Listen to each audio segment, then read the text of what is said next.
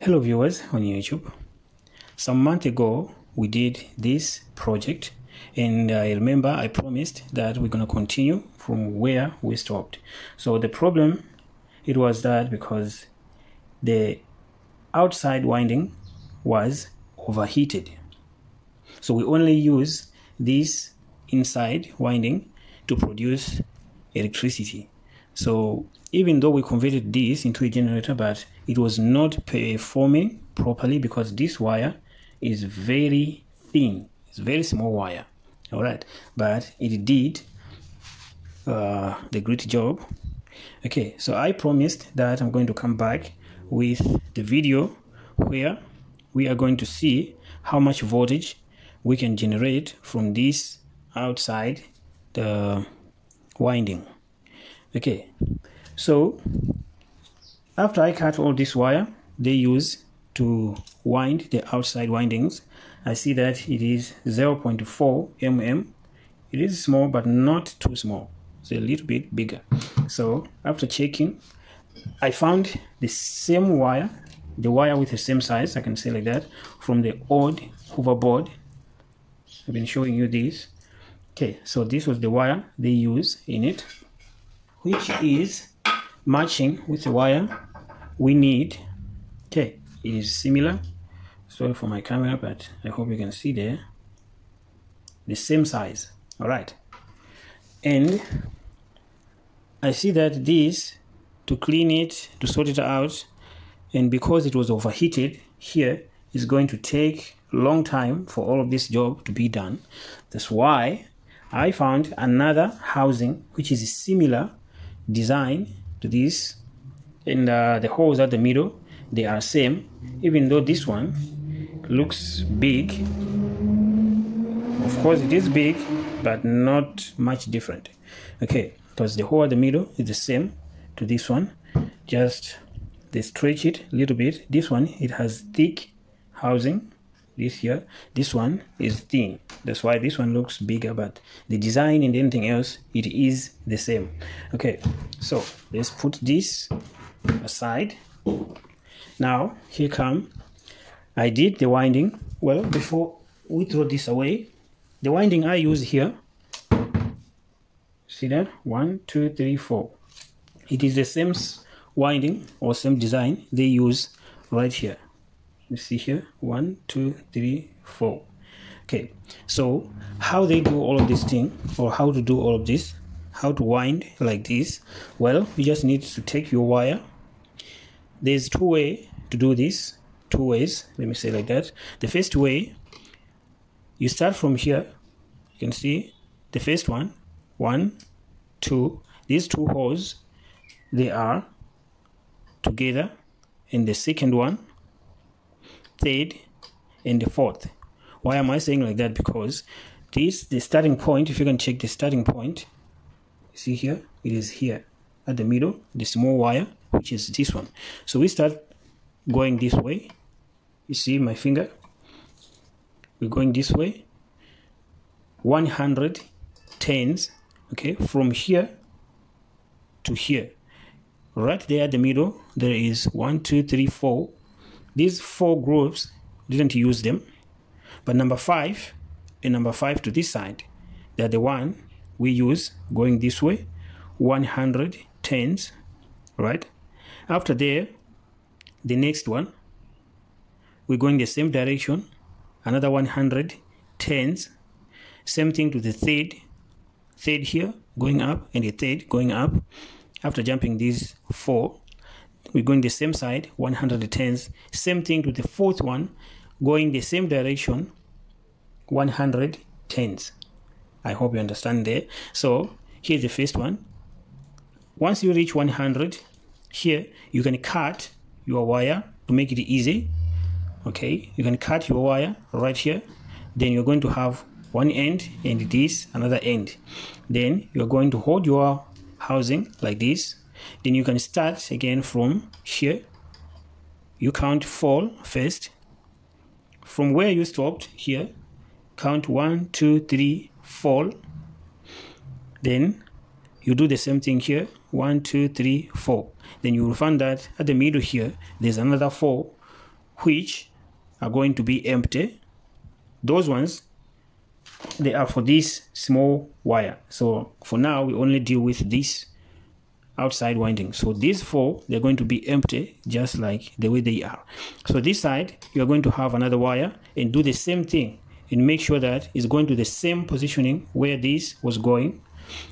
Okay. So you will start from the small winding going that 110s 110s for the second third and the fourth 110s then once you finish you're going to connect the starting point of this side and the ending point of this side. Okay that's the first. The second way that's the one i use here. This one you don't have to cut here when you don't need you know just like me i never wanted to have a joint here. So once you reach 100 here you just turn your winding like this.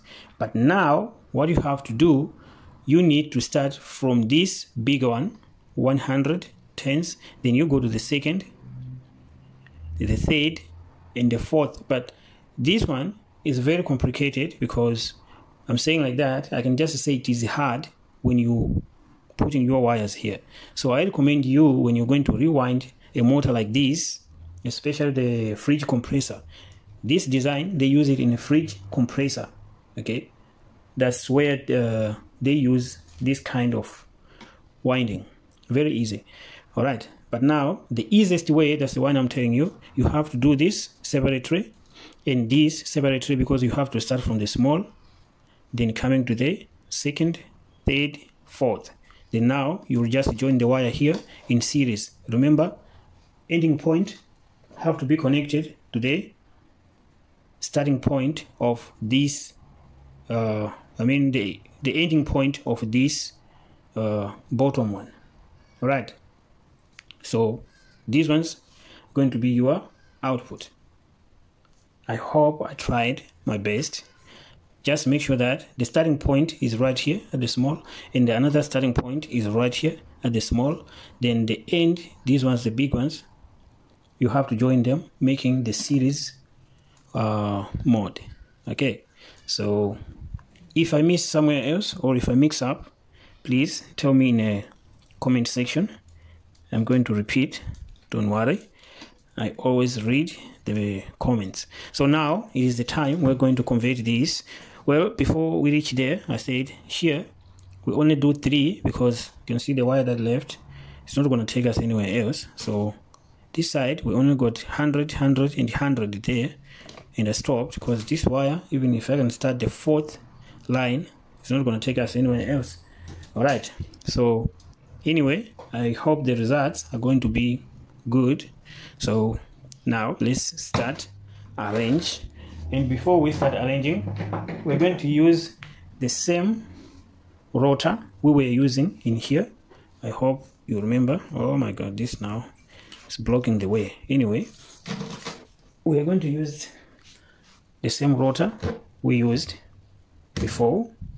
Just have two poles south and north pole. And the magnet we are using the same ones right here so you can see 35 millimeters 10 millimeters and the thickness is 3 millimeters. All right. Now I am gonna pause the video. And when you're coming back or when I'm coming back you're going to see this will be here like that. This will be at the middle and uh, quickly I'm gonna cover the magnet with a tape. Okay so let me take my time to arrange this then we'll continue from there. The setup is done. I hope it's gonna hold. There's so many punches just to make sure that it's not gonna fall apart. But anyway here's under. Nothing there. Okay here is our generator. Spinning easily inside. Right. Now let's see if what we did is right. 250 volts AC now so this connection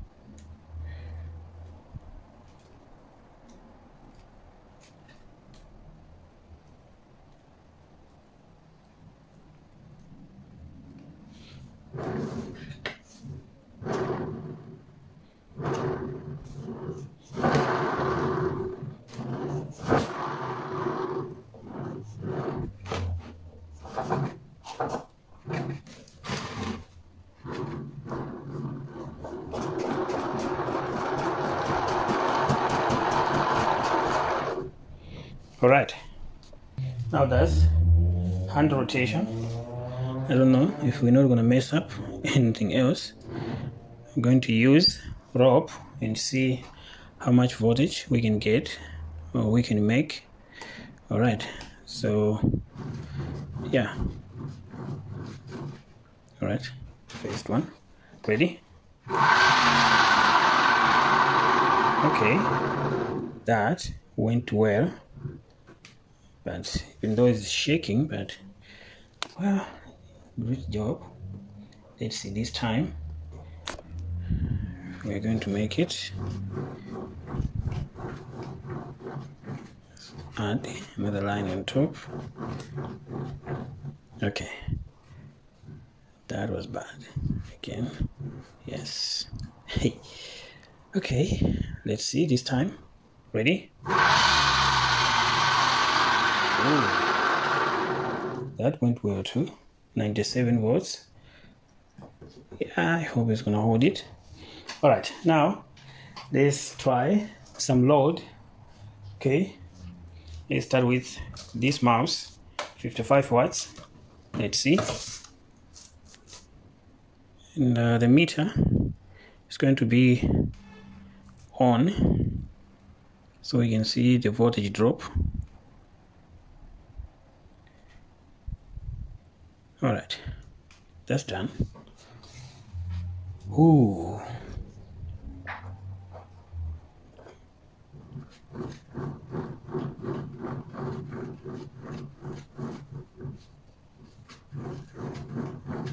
all right. Ready? Machine is on. Connected. Connected. Ooh, yeah. I did not see the voltage so I'm going to do it again. And I see the voltage but the performance on the machine you can see it's doing well. Right. Again. Ready? Well I see 87 which is good not bad. Now I'm gonna add the light bulb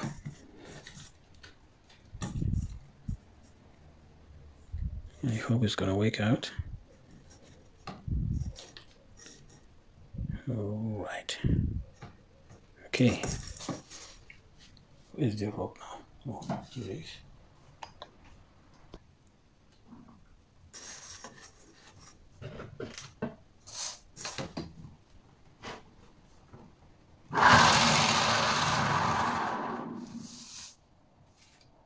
Okay, one more time.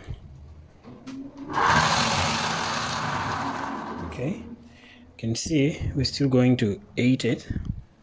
All right. Let's see if we can push 100 watts. What's going on here now? Thank you. Uh, here thank you. Now we have this 100 watts light bulb. It's not energy saving. It's an old school. Okay so let's see if we can bend that element inside.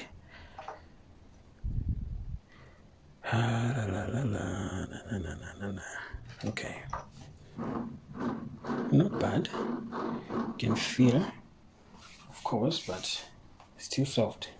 Anyway one way to find out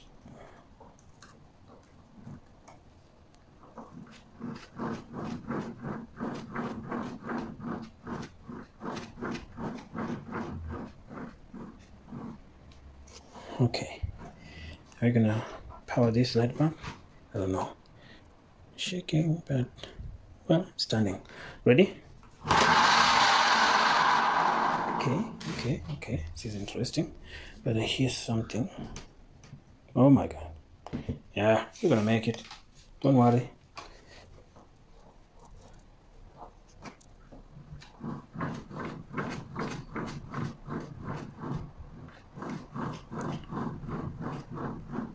okay ready. If something happen that is going to be the end of the video but let's hope it's not going to come out. Three two one. Ready? I'm holding this so when i'm pulling it cannot come out. Okay. Ready? Ooh. yes. I even see 91 there. Remember it depends how faster uh, you spin it. So in this case we can say that if we can use the motor a dc motor like how we used to do to spin it. Uh, to spin this that means well we can reach 240 250 maybe. Yeah. And you can see uh -oh, and you can see the the bright from this light bulb. It shows that even though we're making 90 volts but that means that 90 volts is very strong. Because you can see how bright this thing goes should we go more than this? I think the video is long enough but one minute. In this extra minute i'm adding another 100 watts light bulb and i don't know what's going to happen but i would say thanks for watching. If you interested if we're going to make more viewers more likes that means i will finish this video by spinning this with a motor just to see the full performance of our generator. And maybe by that time I'll find the extra wire to finish up the winding and see the performance after there. Okay so I can feel resistance but not bad. Alright anyway let's do this one more time. In advance I have to say thanks for watching. If you are new don't forget to subscribe and if you love the video don't forget to like. Thank you very much. Uh-oh. What is it now? Oh come here. Right. Ready? We have 200 watts. Three two one